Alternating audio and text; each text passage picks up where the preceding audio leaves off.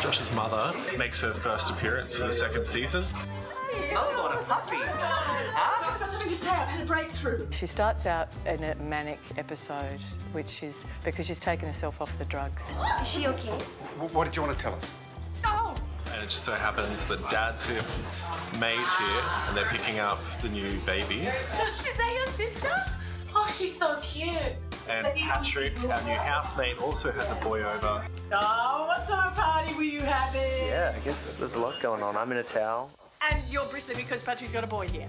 No. Yeah, and because you're really in love with Patrick, yeah? No, I'm not in love with I'm not in love with you, alright? Probably one of the biggest ensemble cast scenes in the show.